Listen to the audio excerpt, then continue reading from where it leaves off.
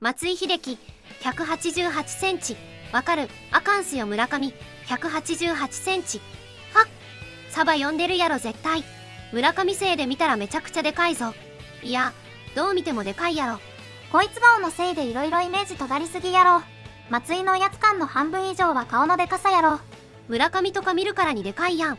新井貴弘189センチ102キログラム近くで見たらビビるでマジででかかった。松井は頭身のせいで180くらいに見える。松井でかいのは知ってるけどスタイル悪いからな。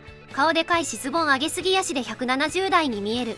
キャッチャーでそんなでかくてもあんま意味ないしな。189センチってあんまりいないし188は持った結果なんやろな。松井は五頭身なのにでかく見える。松井和夫監督177センチ辻初彦前監督182センチ。へ藤波慎太郎 198cm81kg ご視聴ありがとうございました。